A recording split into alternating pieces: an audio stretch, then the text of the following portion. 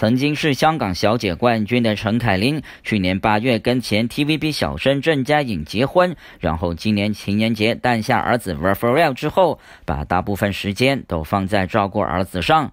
但他不时都会接一些品牌活动。日前，他就去了意大利的维罗纳出席一个内衣品牌的时装秀，同行的还有名模马世慧跟身材劲爆的女儿王丽佳。事后，陈凯琳透过社交账号分享在当地的生活点滴，更穿起性感的白色 bra top 配西装造型去看走秀，罕有的以三寸事业线示人。其实陈凯琳素来都不是爱秀性感之人。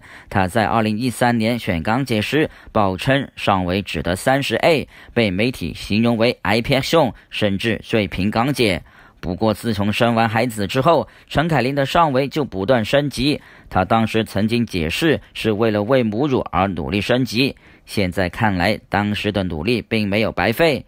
而陈凯琳的美图一 PO，引得不少网民大赞。很多圈中好友更留言围观，纷纷表示火辣无比。魔方传媒综合报道。